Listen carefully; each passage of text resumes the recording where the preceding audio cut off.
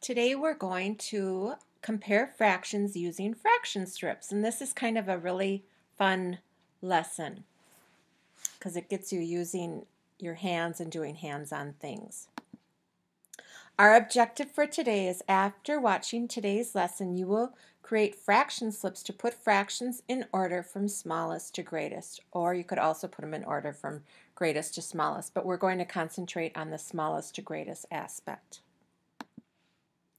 So we are going to look at these fraction strips here. And we're going to just look at all of these and compare things. So if this, this top one represents one whole, and if we take the top one and divide it in half, we would have one half over here and two halves here, or another half, and all together it would equal one whole. So one half is less than one whole. But if we looked at this whole thing, these two are equal. The next one, I divided it into fourths. So we have one fourth, this is another fourth, but we could say it's two fourths, these two. Three fourths are all of these three, and four fourths. So four fourths equals the same as two out of two, which is the same as a whole. Or another way I could have labeled this is one fourth another fourth, another one fourth, and another one fourth. So if I said to you, which is bigger, two fourths or one half, hopefully you would look at it and go, well, the, there are two fourths here, and there's a half here, and these two are equal. Or if I said, which one is bigger, one half or three fourths, visually you can see that one half is less than 3 fourths. Let's look at the next one. This one I could have had I could have labeled it one eighth, another one eighth, one eighth, one eighth, one eighth, one eighth, one eighth, one eighth. But instead I did one eighth, two eighths, three eighths, four eighths, five eighths, up to eight eighths. Same, I divided this into six. It starts at one six, it ends up at six six, or this is a whole. This one I divided into fifths, and if I look at this, five fifths is the same as a whole. So five fifths, six six, and eight eighths, they're all a whole, so they are all equal to each other. So if I said, which is bigger, one eighth or 2 sixths, you would look at it and say, well, is this bigger or is this bigger? And just by looking at it, you would know that 2 sixths is bigger than 1 eighth.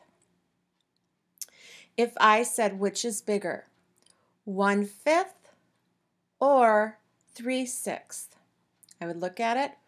I'm looking at this. This one, I'm looking at all of these. 1 fifth is smaller than 3 sixths. Now, if, if I were just asking you in your head, it might be a little bit harder to visualize. That's why the fraction strips are so great. If I said, what is bigger, 3 sixths or 3 fifths, well here we're looking at it, and 3 fifths is larger than 3 sixths. Now, if you want to pause it just to kind of get an idea of what's going on, you can, and you can just ask yourself some different questions. And just really study this a little bit. When you're ready, you can go to the next, um, or play it, and, and I'll go to the next screen. Now, using the above fraction strips, put these fractions in order from least to greatest. Okay, so here's what I'm asking, and here's what you're going to look at. So I'm going to look at it, and it says right here, this is half, this is a third, so I know a third is less than that. This is a fourth. This one right here is a fourth. Then we have three fourths, and then we have two thirds. So I'm going to put it in order. I want you to pause the video and I want you to write down it from least to greatest what the order would be and then come back when you're done. All right, welcome back. Now,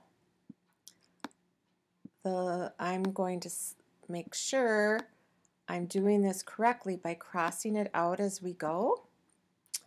And then I'm going to look. Okay, so I've done the 1 4th. I'm going to cross that off.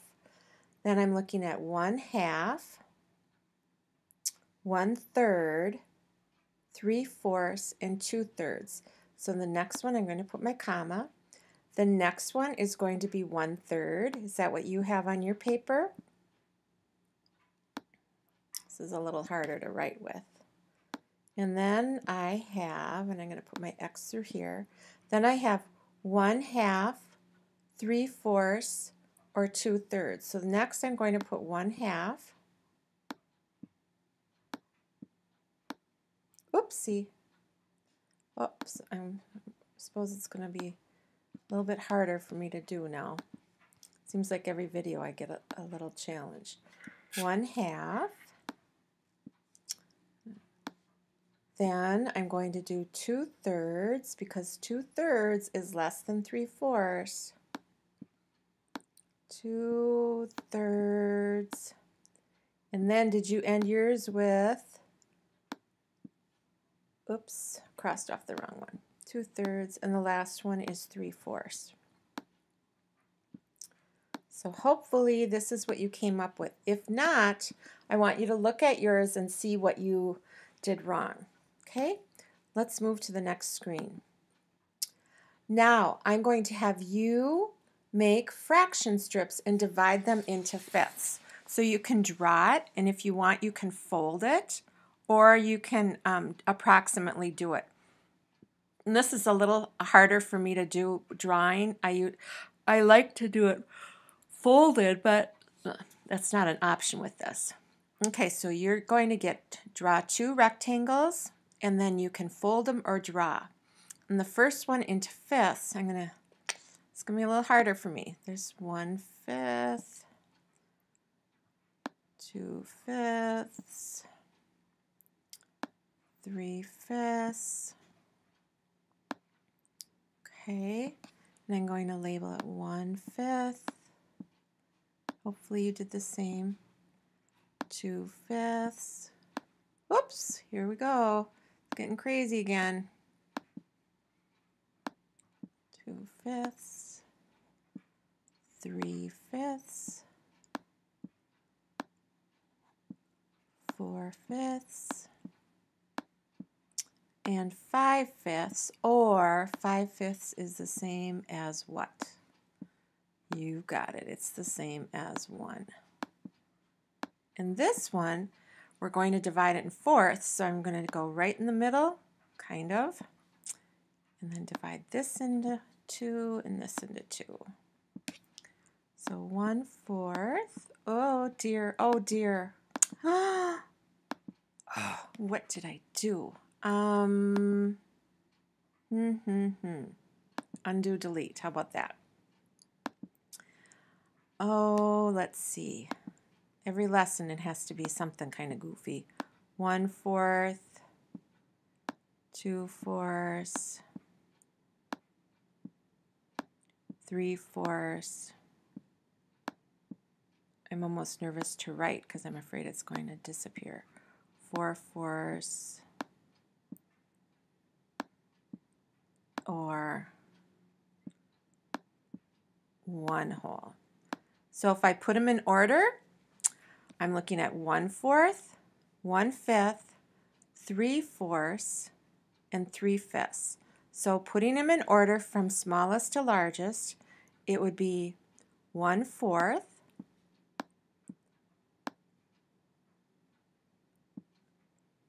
and then, uh-oh, actually one fifth would come first. Hopefully you caught that. So we have one fifth, one fourth, then we have 3 fifths and 3 fourths. Do you agree? Hopefully you do. Now we're going to move to the next page. Let's see what I have here. You're going to um, Make some frac fraction strips. Divide the first one into half. One half. This would be 2 over 2, and you've got it. That equals 1. Ooh, I'm getting kind of loopy here with my writing. And the next one, you're going to divide it into thirds.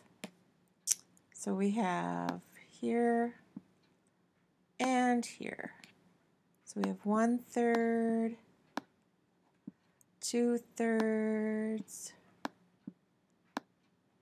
three thirds. What does that equal? Say it with me. It equals one whole. Putting it in order, I'm not going to write it this time because I'm not that great at it. This is the, the smallest, one third. After one third, and I'm going to compare them. Hmm. One half comes next. And then two thirds. And last but not least, one whole. Hopefully you've got it. Okay. Now I want you to put these words into your notebook, into the vocabulary section. Um, it might be in there. I can't remember if we've put these in here or not. If, if you have, then great, you've done it. But if not, let's write it down. So you have, you'll have to pause if you need to. The numerator is the top number of the fraction. So in this case, the numerator for 1 fourth would be the 1. And I want you to use this as an example as well. And the denominator is the bottom number of the fraction. So with 1 fourth, it is the 4. Okay? Put that in there, and then it's quiz time. So um, I've linked it to the um, assignment, so you can do that. Answer the following questions and write down, um, click the letter that belongs to it, and then remember at the end, um, write down how comfortable you are with this concept of ordering fractions using fraction strips. And also write down any questions that you have. And that's it for now. I will see you tomorrow. Have a good night. Thanks for listening. Bye.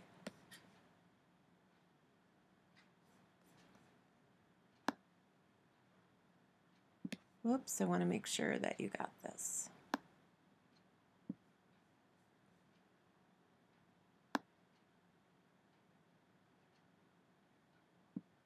See you tomorrow.